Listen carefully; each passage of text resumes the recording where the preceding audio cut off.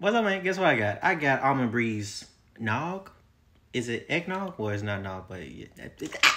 All right, this is the front of the product. Here's the side of it, and also the back of it.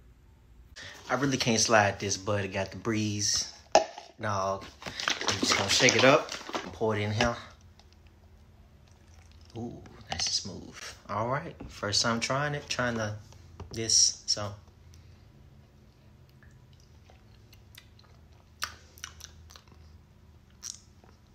Oh.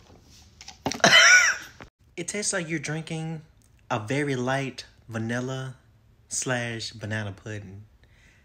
Very light flavor. I don't like it.